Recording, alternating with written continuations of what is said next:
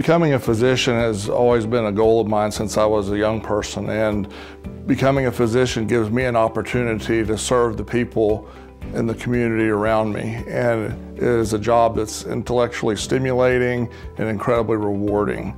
Thing I find most rewarding about general surgery is that we do deal with such a broad spectrum of different disease processes, organ systems, operations to take care of these uh, issues.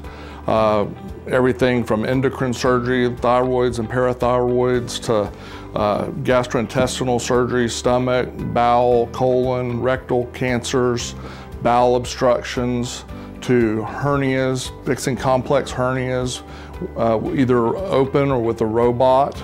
That's another uh, development in general surgery uh, that we've been able to utilize another advance in technology. And uh, I find that incredibly rewarding. So you would get the same care in Tyler, Texas as you would in Cleveland or Miami or Seattle based on national uh, guidelines.